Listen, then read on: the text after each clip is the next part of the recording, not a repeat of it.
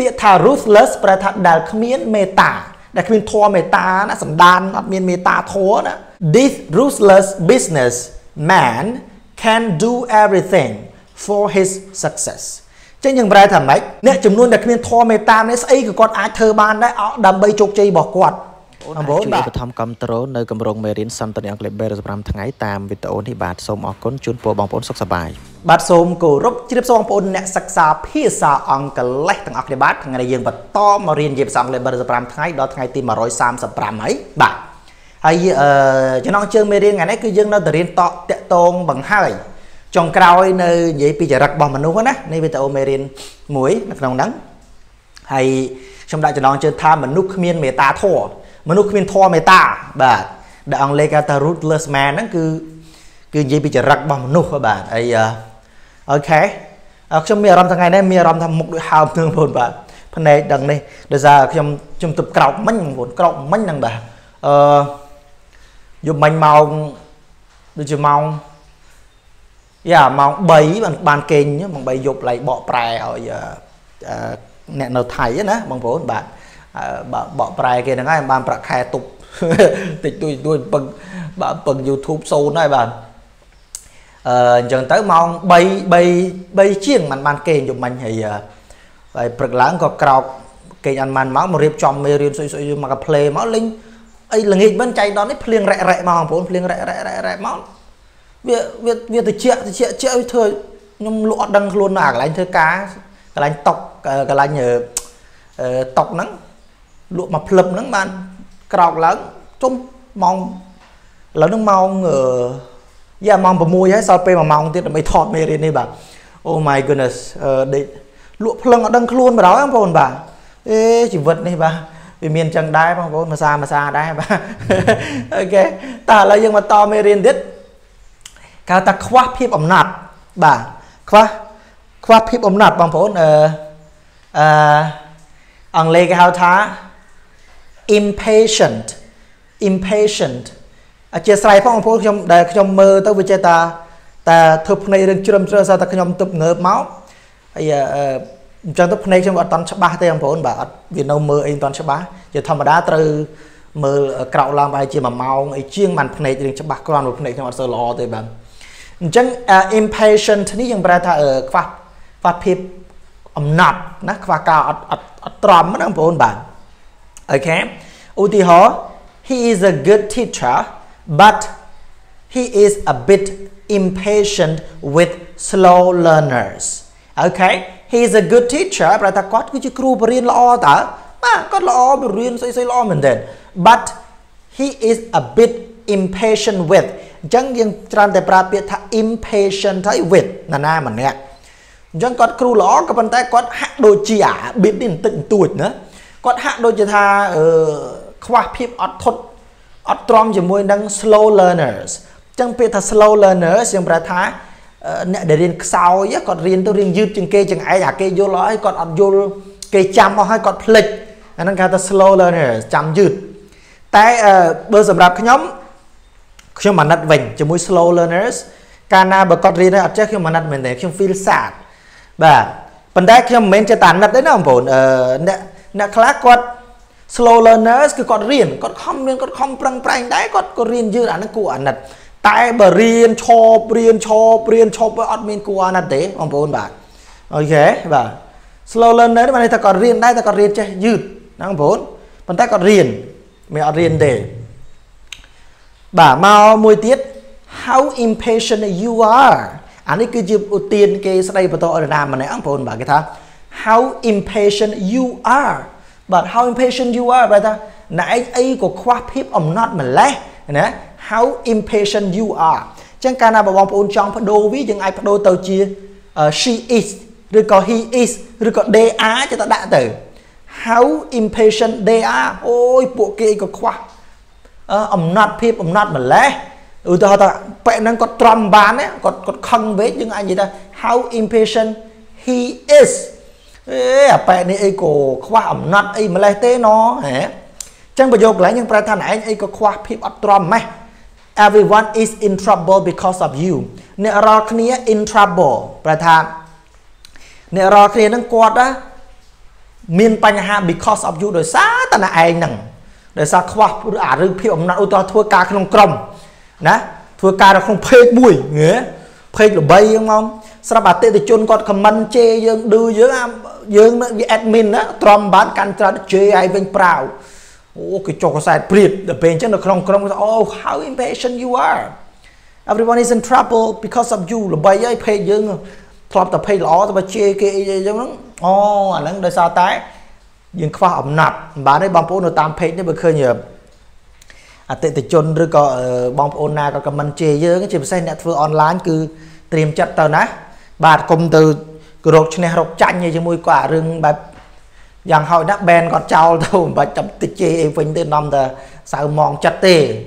បើថាមិនចង់ឃើញខមមិនហ្នឹងទេបែនចោលទៅបាទបោះយើងតើបាទខ្ញុំគេជេរឡើងឆ្អិតឆ្អន់ឥឡូវបាទធម្មតាធម្មតាឥឡូវបាទដែលអត់ធន់យ៉ាអាមិញគេហៅថា impatient អញ្ចឹងអាមួយនេះ គេហៅថា patient patient ខ្ញុំនិយាយថាអត់ធន់អត់ទ្រាំអូខេបាទអឺឧទាហរណ៍ you must be patient if you want to be great yeah you must be patient if you want to be great ណែឯងត្រូវតែអត់ធន់អត់ទ្រាំ if you want to be great បើសិនបើចង់ធ្វើរឿងធំ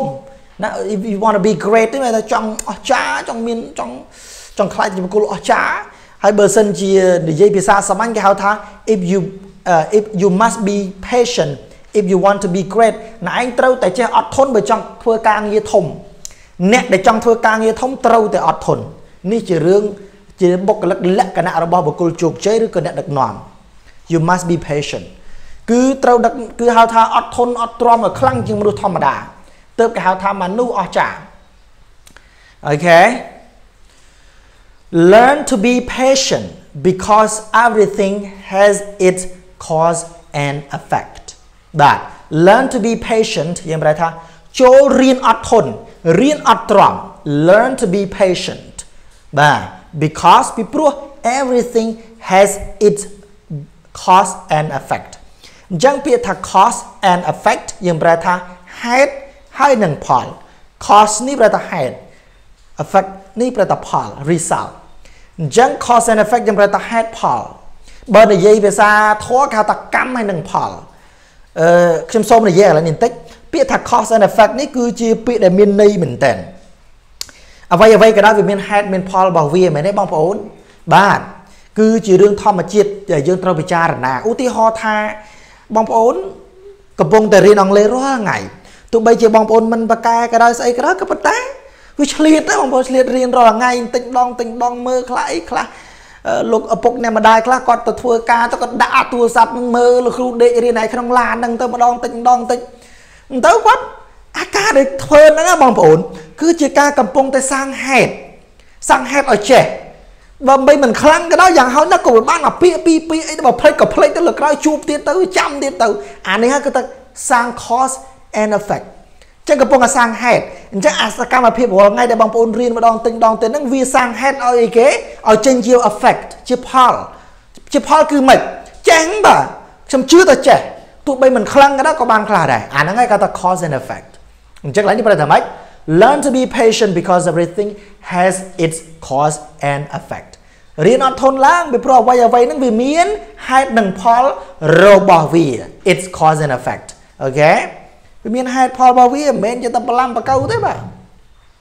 ចឹងយើងត្រូវសាងហេតុណាបងប្អូនចង់បកែនិយាយសាងហេតុឲ្យបកែនិយាយហេតុនាំឲ្យបកែនិយាយស្អីគេដាក់មកប្រើប្រើប្រើប្រើមកអូខេចិត្តធ្ងន់នឹងនឹងថឹងបាទអឺគេហៅថា placid បងប្អូនបាទ placid placid បងប្អូនពាក្យថា placid យើងប្រើថាចិត្តធ្ងន់ អឺបានន័យថាមនុស្សម្នាក់ហ្នឹងគឺចិត្តគាត់នឹងនៅអត់ងាយរំជើបរំជួលអត់ងាយឆាប់ភ័យអត់ងាយឆាប់ខ្លាចអាហ្នឹងគេថា placid ចិត្តធ្ងន់ចិត្តនឹងថឹងមិនងាយភ័យមិនងាយខ្លាចបងប្អូនបាទអាហ្នឹងគេថា placid ឧទាហរណ៍ she is a placid girl who rarely cries គឺក្មេងស្រីម្នាក់ហ្នឹងគឺគាត់គឺជាក្មេងស្រីដែលចិត្តនឹងថឹងចិត្តធ្ងន់ណាស់ she rarely cries នាងមិនងាយ rarely នេះបើតែកំរ rarely cries rarely ហ្នឹងស្មើអឺអឺមិនមែន never ក៏ប៉ុន្តែវាអាចថាវាវាវាចូលនឹង70%តែមិនដែលណាកម្របាទ she rarely cry នាងកម្រកម្រយំអញ្ចឹង who កន្លែងនេះក៏ជាបុគ្គលដែរអានេះចាំខ្ញុំមានពេលអនាគតទៅខ្ញុំនឹងនិយាយពី clause បងប្អូនណា rarely cry នេះជា clause ស្អីជា verb clause ជា noun clause អានឹងចាំគិតទៀតអញ្ចឹងខ្ញុំសូមប្រែ នាងគឺជាក្មេងស្រីដែលមានចិត្តធ្ងន់ណា she is a, a placid uh, placid girl who ណានាងគឺជាក្មេងស្រីដែលមានអំណត់អត់ធន់ជាបុគ្គលដែល rarely cry ជាបុគ្គលដែលកម្រយំណាអូខេបាទកម្រងាយទេសក់ទឹកភ្នែកងាយទេបាទអឺ yeah this one is already right okay yes go to another one អឺដែលគ្មានធម៌មេត្តាបាទចិត្តអត់មេត្តាបងប្អូនមនុស្សដែលគ្មានធម៌មេត្តាហ្នឹងអង់គ្លេសគេហៅថា ruthless បងប្អូន ruthless ruthless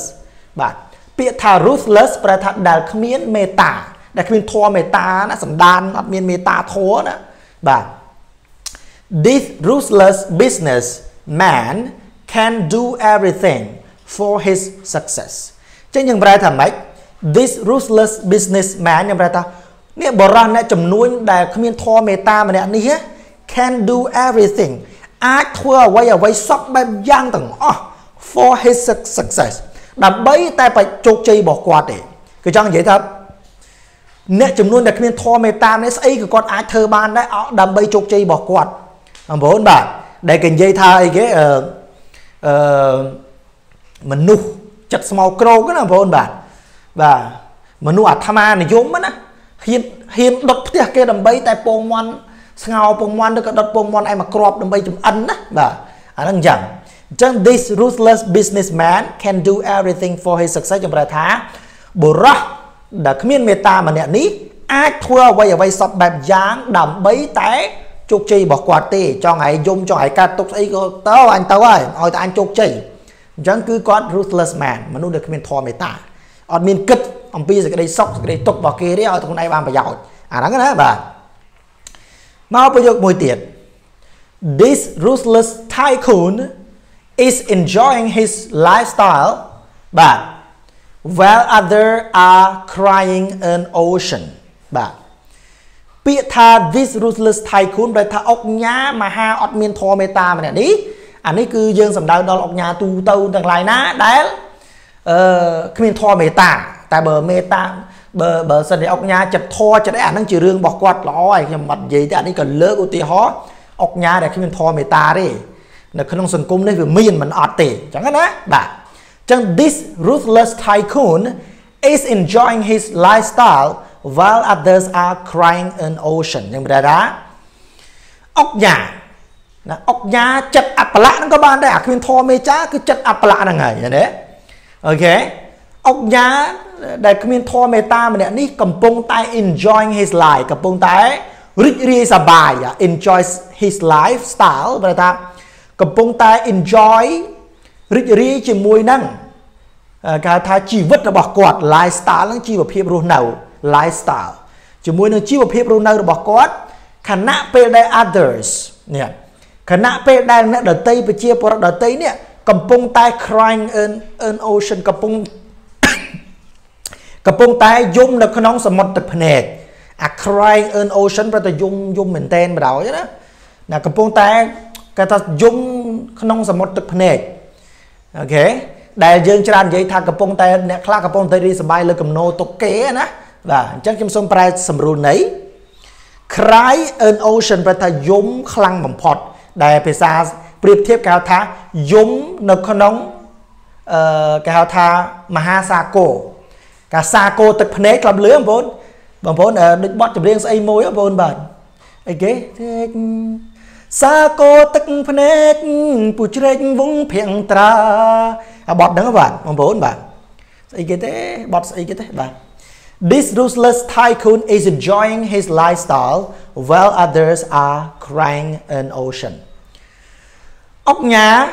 ចិត្តមហាអបលៈម្នាក់នេះកំពុងតែរីករាយនៅក្នុងជីវភាពដ៏សម្បើមបែបរបស់គាត់ដ៏សម្បើមរបស់គាត់ខណៈពេលដែលប្រជាពលរដ្ឋដទៃប្រជាជនរងគ្រោះកំពុងតែយំនៅក្នុងសាគរទឹកភ្នែកណាបាទយើងប្រែអញ្ចឹងក៏បានសាច់តែយើងបងប្អូនបាទមិនរុះរាយបាទពាក្យថាមិនរុះរាយនេះបានន័យថាអឺគឺ unfriendly ដែលគេហៅថា hostile បងប្អូន ពាក្យថា hostile នេះលក្ខណៈមួយគេហៅថាអមិត្តគឺមិនចូលចិត្តរាប់អានណាគេជាមិត្តទេម្នាក់ហ្នឹងគឺគាត់កម៉ៅកម៉ៅកញ៉ៅកញ៉ៅគឺទឹកមុខសពប់សពោតគឺមិនចូលចិត្តរាប់អានណាគេជាមិត្តអាហ្នឹងគេថា hostile hostile អូខេឧទាហរណ៍ I have no idea why he is hostile to me all the time hostile យើងប្រែថា yeah មិនមិនមិនកៅកញើកញើដាក់កម៉ៅកម៉ៅដាក់បងប្អូនបាទ អញ្ចឹងកន្លែងខ្ញុំប្រែថា I have no idea why នេះខ្ញុំប្រែថាខ្ញុំមិនដឹងតាហេតុអីពាក្យថា I have no idea why នេះខ្ញុំប្រែអញ្ចឹងបណ្ដោយមក I have no idea why ខ្ញុំមិនដឹងតាហេតុអ្វីទេហេតុអ្វីទៅណ he is hostile to me all the time តែបែបហ្នឹងគឺកញើកញើដាក់ខ្ញុំនឹងរហូតទៅបងបាទគឺបាទនេះថាគឺគាត់គឺអញ្ចឹងបណ្ដោយបាទគឺ គាត់ឃើញយើងមិនចង់រាប់អានជាមួយយើងបាទធ្វើការជាមួយគ្នារាប់ឆ្នាំបងប្អូនបាទអានេះគេហៅថាមនុស្សដែលគ្មាននិស័យនឹងគ្នាឬក៏មានកម្មពៀជាមួយគ្នាតាំងតែពីយូរណាស់មកបាទគឺមិនចូលចិត្តគ្នាឃើញមកគឺមិនចូលចិត្តយកតែហ្មងអញ្ចឹងបងប្អូនបាទអាហ្នឹងគេហៅថា hostile to somebody គឺមិនចូលចិត្តរាប់អានកញើកញើដាក់មិនរុះរាយដាក់ My boss looks like a hostile man